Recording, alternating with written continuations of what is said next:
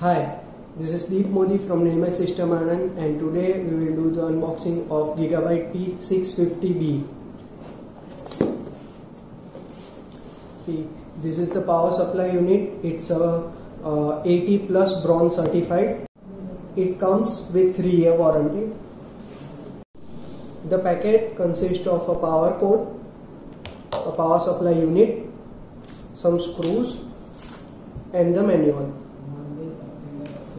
The power supply unit consists of 6 SATA uh, connectors, 3 SATA power and one ATX 24 pin power connector.